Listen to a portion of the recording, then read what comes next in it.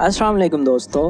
अदब डायरी में खुश आमदीद। सल्तनत उस्मानिया पर यह पाँचवीं वीडियो है, जिसको लिखा है सर वहारा अम्बाकर ने।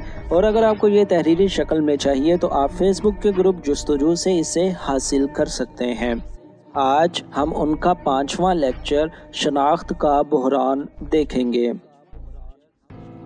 सुल्तान अब्दुल मजीद का ताल्लुक नक्शबंदी सिलसिले की खालिदी शाख से था।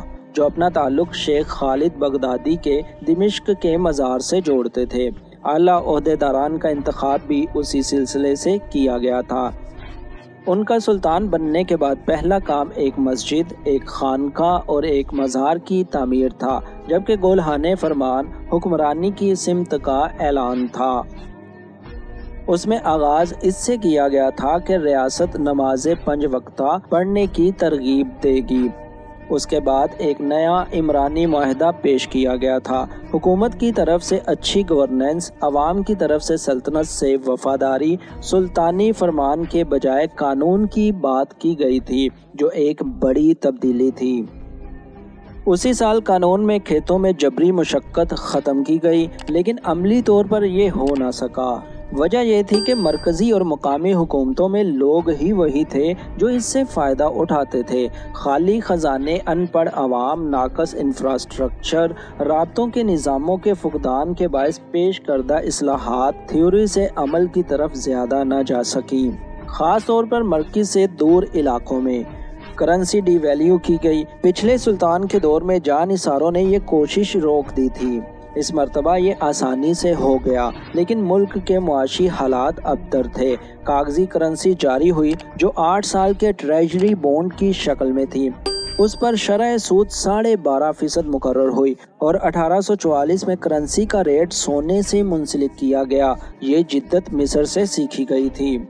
तालीम और कानून के शोबों में असलाहत आई। 1850 में वजारत तालीम बनी और 10 से 15 साल के लड़कों के सेकुलर तालीम के स्कूल सल्तनत में पहली बार कायम किए गए। दही सर्वे का सिस्टम बनाया गया, लेकिन हकीकत यह है कि असलाहत की रफ्तार बहुत सुस्त थी। जागीरदारी निज़ाम से जबरी मशक्क़त का तरीका ख़त्म करने पर ज़ोर देने से जागीरदारों की तरफ़ से शदीद मुजाहमत आई। हुकूमत ने फैसला किया कि ऐसे तनाज़े मुकामी सतह पर निपटे जाएँगे और इसका मतलब स्टेटस को बरकरार रखना था, क्योंकि मुकामी सतह पर सुनवाई उन्हीं जागीरदारों की थी। लंदन में अठारह की नुमाइश में पहली बार उस्मानी सल्तनत ने शिरकत की, जिसमें 700 नुमाइश कुनिंदगान ने ज़रात, सनत, आर्ट और दस्तकारी को शोकेस किया। पैदावार और बरामदात की तरफ़ तोज्जो की ये एक मिसाल थी। मगरब में आने वाले सनती इनकलाब को ज़रात और मैनुफैक्चरिंग में रफ्ता रफ्ता अपना कर प्रोडक्शन बढ़ाना, डोमेस्टिक मंडियों को एफिशिएंट बनाना, बैन अवी मंडियों तक रसाई की कोशिश अठारह सौ उनतालीस से अठारह सौ तिरपन तक सल्तनत उस्मानिया की तरफ़ से की जाने वाली अंदरूनी जंग थी। बैरूनी ताजरों को अपने मुल्क की रसाई देने से पुरानी अजारादारियाँ टूटना शुरू हो गई थी। सुल्तान अब्दुल मजीद के हुक्म पर इस्तंबुल में सदियों पुरानी गुलामों की मंडी 1846 में बंद कर दी गई। कई लोगों का रोज़गार उससे वाबस्ता था। इस खबर पर जद्दा में एहतजाज हुआ। मुसल्ला तसादम भी हुए, लेकिन अठारह सौ सतावन में सल्तनत भर में गुलामों की तजारत गैर कानूनी करार दे दी गई। रूस के साथ क्रीमिया की जंग अठारह में शुरू हुई। उस जंग की वजह से यरूशलेम में ऑर्थोडॉक्स क्रिश्चियन के मुकदस मकाम थे, जिन पर जार रूस ने कंट्रोल तलब किया था। उस जंग में उस्मानियों को अपने इतिहादी फ्रांस, बरतानिया की सूरत में मिल गए। रूस ने बरतानिया के असर का गलत अंदाज़ा लगाया था और उसको अठारह सौ छप्पन में जंग बंद करना पड़ी। लेकिन पेरिस अमन माहदे का एक साइड इफ़ेक्ट उस्मानी सल्तनत के बरतानिया पर मजीद इन्हसार की सूरत में निकला और उसका नतीजा असलाहत का बढ़ने वाला दबाव था। उस्मानी सुल्तानों में अपने शहर से बाहर जाने का रिवाज नहीं था, माँ सिवाय फौज के सरबराह के तौर पर। मुल्क से बाहर जाने का तो बिल्कुल भी नहीं। सुल्तान अब्दुल मजीद के बाद आने वाले सुल्तान अब्दुल अज़ीज़ वो पहले और वाहिद सुल्तान थे जो किसी भी गैर मुल्की दौरे पर गए।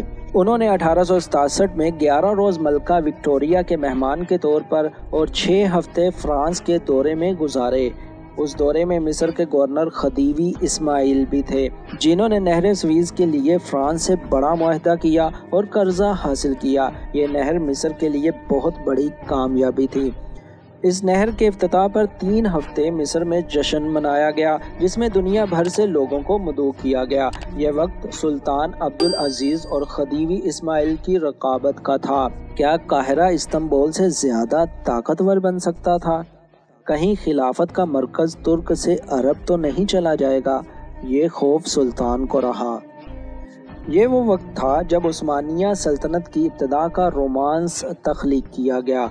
सल्तनत के बानियों के, उनकी शुजात व दनाई के फसाने बने। माजी की धुंधली तस्वीर में रंग भरे गए। सोगुत में मकबरे बनाए गए। फौज के रिवायती लिबास में उस्मानी लिखवाया गया। उस्मानी सल्तनत की इब्तदा की तारीख बारह सौ निन्यानवे में मुकर की गई। अप्रैल अठारह सौ बासठ को बोरसा में उस्मान की कबर पर उस्मानी आर्डर चढ़ाया गया, जिसमें जवाहरात लगे थे। ये सब ये बताने के लिए था कि उस्मानिया ख़ानदान माजी की धुंध नहीं, ताबनाक माजी और आगाज़ रखता है। सल्तनत की शनाख्त उस्मानियों का ख़ानदान है। तालीमी पसमानदगी बड़ा मसला थी। तंजीमात का मकसद भी आम तालीम नहीं था। आवाम के लिए चंद स्कूल बनाए गए थे। अठारह सौ उनसठ में आम तालीम के लिए कायदो जवाबत बने, जो अठारह सौ छिहत्तर में नाफिज हो गए। उसमें प्राइमरी सेकेंडरी और इससे आगे की तालीम का सिस्टम था। यह सिस्टम उस वक्त की रिवायती तालीम के मुतवाजी बनाया गया था। नए सिविल कवानीन बनाने में कई बरस लगे। उनको फ्रेंच सिविल कोड की तर्ज पर बनाया गया था। बैंक का इदारा 1840 की दहाई में शुरू हुआ ताकि तजारत की जा सके। पहली ट्रेन की छोटी सी पटरी अजमेर से बहरे असवद के साहिल तक 1873 में बिछाई गई। सुल्तान ने दिफाई सामान की भारी खरीदारी की थी। 1873 में होने वाला आलमी मंडियों का क्रैश, अनातोलिया में उसी दौरान कहत और सैलाब, टैक्स के निज़ाम में तब्दीलियों से महसूल में कमी। 1875 में उस्मानी हुकूमत ने ऐलान किया कि वो कर्जे वापस करने के काबिल नहीं रही। और डिफ़ॉल्ट कर गई। उस वक्त में उस्मानी शनाख्त के बुरान का शिकार थे। हम कौन हैं? हमें क्या हो गया है? क्या हम महज नकाल हैं? क्या कभी भी वापस उठ सकेंगे? इंटेलेक्चुअल हलकों में ये सवाल होने लगे थे। मार्च 1876 को एक पम्फलेट शाया हुआ मुस्लिम हिब्बुल वतनों का मंशूर। उसमें इंतबात करवाने और मशावराती असम्बली का मुतालबा किया गया था। बासर हलकों में उस्मानियों के खिलाफ तहरीक चल रही थी। सुल्तान ने इसका जवाब सेंसरशिप और टेलीग्राफ बंद करने से दिया, लेकिन इसका फ़ायदा नहीं हुआ। एक महीने के आखिर में सुल्तान अब्दुल अज़ीज़ को माजूल किया जा चुका था। ये बहुत एहतियात से की जाने वाली बगावत थी, जिसमें अहम वज्रा शामिल थे। नया सुल्तान उनके वली अहद मुराद पंजम को बनाया गया। मुराद पंजम सिर्फ़ तीन माह हुक्मरान रहे। उनको भी इस्टेब्लिशमेंट ने माजूल कर दिया। मुराद को चरागा महल में गिरफ़्तार करके अगला सुल्तान मुराद के भाई अब्दुल हमीद दोम को बनाया गया। अप्रैल 1876 को बुल्गारिया के सूबे प्लोडिप में बगावत हुई। उसके नतीजे में होने वाले वाक़ात में रूस ने अप्रैल 1877 को उस्मानियों के खिलाफ ऐलान जंग कर दिया। बीस साल अमन माहदे के बाद ये जंग उस्मानियों को बहुत महँगी पड़ी। बुल्गारिया के तीन हिस्से कर दिए गए, जिनमें से एक उस्मानियों के पास रहा, एक नीम खुद मुख्तार और एक आज़ाद। रूस ने बातोमी, कारस और उर्दहान का इलाका ले लिया। सर्बिया, रोमानिया और मोन्टीनेग्रो को आज़ादी मिल गई। बोस्निया और हर्जी गोनिया आस्ट्रो हंगरी सल्तनत के पास चला गया। जिन इलाकों पर रूस ने कब्जा कर लिया था और सुलह के माहे में उनसे दस्तबरदार हुआ, उसके इवज 80 करोड़ 25 लाख फ्रांक हर जाना लगा दिया गया। एक सदी में उस्मानी अपनी सल्तनत का एक तहाई इलाका खो चुके थे। आस्ट्रो हंगरी सल्तनत उस्मानियों का इलाका तो हासिल कर चुकी थी, लेकिन ये उनके लिए दर्द सर बन गया। वो मसला जो उस्मानियों को था, वो अब यहाँ तक पहुँच गया।